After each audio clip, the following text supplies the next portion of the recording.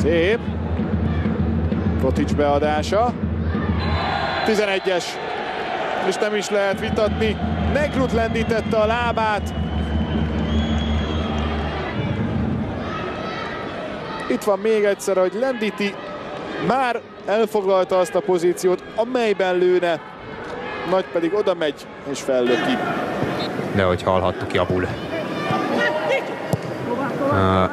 Fehérvári játékos állapota. Na ez kérdéses szituáció. Azért Viana és Muszli összecsapása után a kisvárdai játékost kell szóbeli figyelmeztetésben részesíteni a játékvezetőnek.